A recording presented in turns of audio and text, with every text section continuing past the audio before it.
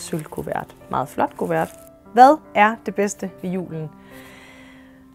Jamen altså, jeg elsker julen. Jeg synes, julen er en vidunderlig tid. Jeg elsker, øh, jeg elsker lys, og jeg elsker hygge, og jeg elsker at bage øh, julekager, og jeg elsker at øh, se julefilm i fjernsynet, og, øh, og jeg elsker at pakke små dumme ting ind til mine børn og putte i en sok og, og skrive øh, skøre sædler og lægge rundt omkring øh, fra nissen, naturligvis. Så julen er helt klart blevet bedre, efter jeg har fået børn.